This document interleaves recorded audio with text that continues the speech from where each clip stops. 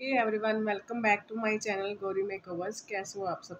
सो so, आज मैं आपके साथ शेयर करने जा रही हूँ ये black smoky eye makeup look अगर आपको थोड़ा सा भी अच्छा लगे थोड़ा सा भी हेल्पफुल हो तो please make sure to subscribe my channel like my videos so let's not waste the time let's get start the video first मैं अप्लाई कर रही हूँ लॉरियल का प्राइमर ये बहुत ही अच्छा प्राइमर है। इसको मैं अपने चीक्स पे फोरहेड पे और अपने सारे फेस पे अप्लाई करूँगी, अपने फिंगर्स की हेल्प से। अच्छे से इसको ब्लेंड कर लूँगी to fill in my pores जिससे जो मेरा बेस है, बहुत अच्छा दिखेगा। जो फाउंडेशन है, वो बहुत ही स्मूथ ब्लेंड होगी।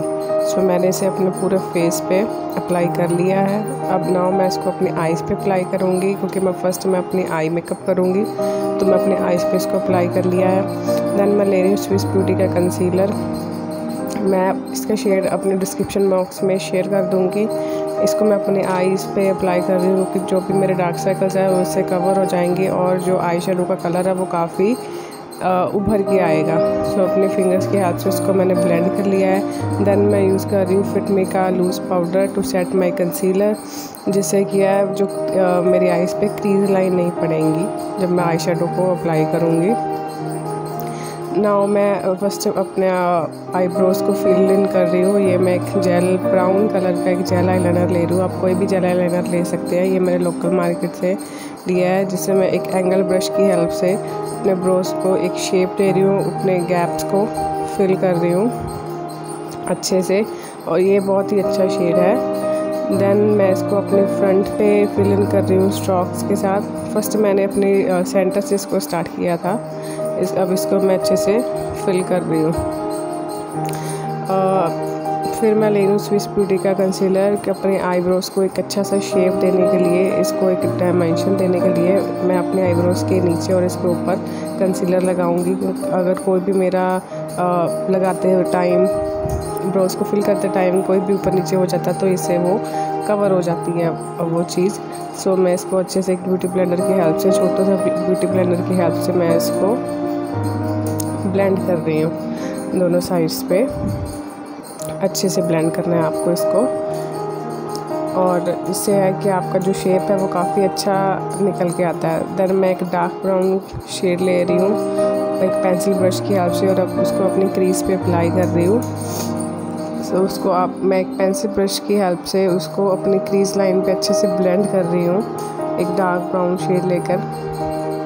अपने आउटर वी पे उसको अच्छे से अप्लाई कर रही हूँ। आप देख सकते हो।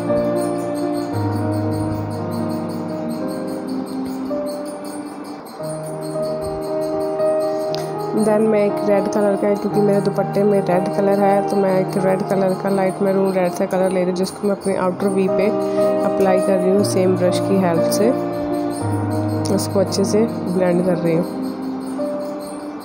अपने आउटर कॉर्नर से इनर कॉर्नर्स तक मैं उसको अच्छे से ब्लेंड कर रही हूँ। देन मैं एक ब्लैक कलर का शिमरी शेड ले रही हूँ। बहुत ज़्यादा शिमरी नहीं है but still it's not matte shade अपनी फिंगर की हेल्प से, अपने इनर कॉर्नर से स्टार्ट कर रही हूँ और आउटर कॉर्नर तक उसको ब्लेंड कर रही हूँ। क्योंकि मैं एक light smoky eye look create कर रही हूँ सो मैं एक ब्लैक कलर को उसके अच्छे से, अब मैंने एक, वो थोड़ा सा डार्क ब्लैक कलर लिया है, जो, जिसमें शिमर नहीं है तो उसको अपनी पेंसिल ब्रश की हेल्प से अच्छे से आउटर बी पे अप्लाई कर रही हूँ। एक स्मोकी लुक क्रिएट करने के लिए। और एक ब्लेंडिंग ब्रश के हेल्प से मैं कलर को ब्लेंड कर रही हूँ। कोई भी हार्श लाइन कोई भी हार्श लुक वो ना लगे। देन मैं एक गोल्डन शिमरी शेड सा लेके अपने इनर कॉर्नर्स पे अप्लाई करूँगी। मैं एक बिल्कुल स्मोकी ब्लैक आई लुक नहीं क्रिएट कर रही हूँ। मैं लाइट सा बिगनर्स के लिए ये बहुत अच्छा रहेगा क्योंकि ब्लैक कलर को बिल्ड करना थोड़ा सा मुश्किल होता है। सो मैं इसको अपने गोल्डन शेड का प्लेनर कॉर्नर से अप्लाई कर लिया. देन मैं आईलाइनर अप्लाई कर रही हूँ. मैं यहाँ पे ले रही हूँ स्टेक विर्की का लिक्विड आईलाइनर और इससे मैं एक विंग आईलाइनर ड्रॉ कर रही हूँ. सब प्रोडक्ट्स के लिंक मैं डिस्क्रिप्शन बॉक्स में शेयर कर दूँगी. मैं यूज़ कर रही हूँ मेबलिन का मस्कारा मेबलिन का आई थिंक ये हाइपर लिंक मस्कारा है. मैं फॉल्स एलेशेस अप्लाई नहीं करूँगी। तो मैंने देन मैं अपना बेस स्टार्ट कर रही हूँ। मैं यहाँ पे ले रही हूँ स्विस ब्यूटी का ल्यूमिनेटर जिससे मैं थोड़ा सा डोई लुक आएगा। देन मैं यूज़ कर रही हूँ Lakme nine to five mousse foundation दोनों को इकट्ठा अप्लाई करूँगी अपने फेस पे। और एक ब्यूटी ब्यूटी ब्लेंडर के हाथ से इसको ब्लेंड करूँगी अच्छे से।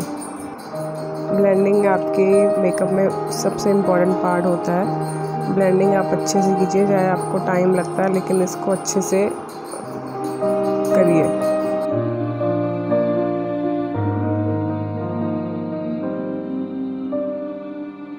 दैन मैं यूज़ कर रही हूँ स्विस ब्यूटी का कंसीलर इसको मैं अपनी इनर आइज़ और आउटर आइज़ पे अप्लाई करूँगी। अपने फोरहेड पे, अपनी नोज़ अपनी पिपट बोन और चेन पर अप्लाई करूँगी, जहाँ पे मुझे थोड़े थोड़े डार्क स्पॉट्स और डार्क सर्कल्स हैं और सेम ब्यूटी ब्लेंडर की हेल्प से इसको अप्लाई करूँगी। और सॉरी ब्लेंड करूँगी।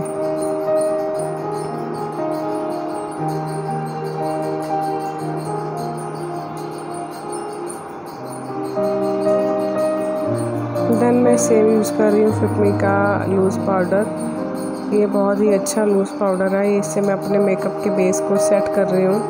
गर्मियों में सेट करना बहुत ही ज़्यादा इम्पोर्टेंट होता है। सो so, मैं इसको एक ब्रश की हेल्प से अपने फेस पे सेट कर रही हूँ। नाउ मैं एक शुगर का कंटोर हाईलाइट ब्लशर पैलेट ले रही हूँ और एक ब्लशर सॉरी कंटोरिंग करने स्टार्ट कर रही हूँ। मैं ये लाइट ब्राउन सा शेड है, बहुत ज़्यादा डार्क नहीं है तो उसे अपने चिक्स पे अप्लाई कर रही हूँ।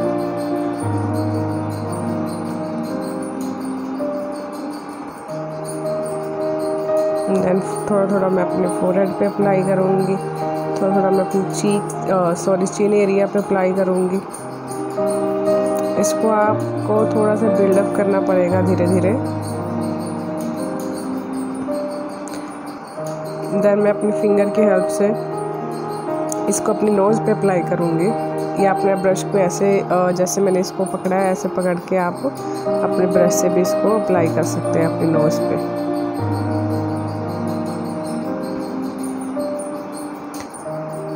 देन मैं उसी पैलेट से ब्लशर ले रही हूँ और अपनी चीक्स पे अप्लाई कर रही हूँ।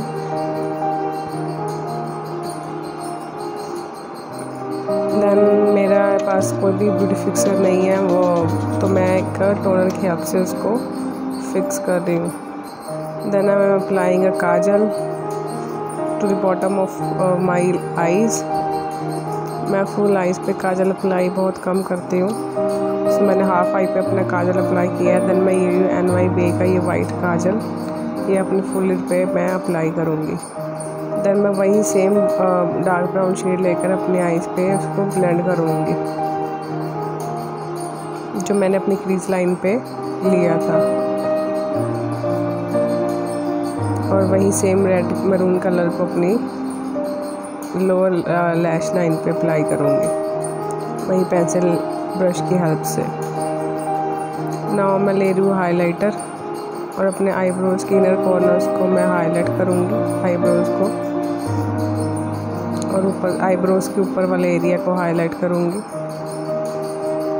और आइज़ के इनर कॉर्नर्स को मैं हाईलाइट कर रही हूँ। इससे बहुत ही अच्छा लुक आता है आपकी आइज़ पे। Then I am applying on my cheeks my nose area my forehead area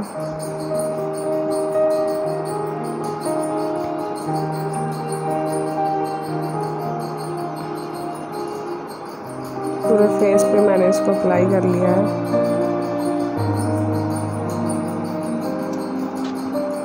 then मैं लिपस्टिक के लिए दो शेड मिक्स कर रही हूँ। ये है एक अवॉन की लिपस्टिक है रेड कलर की लिपस्टिक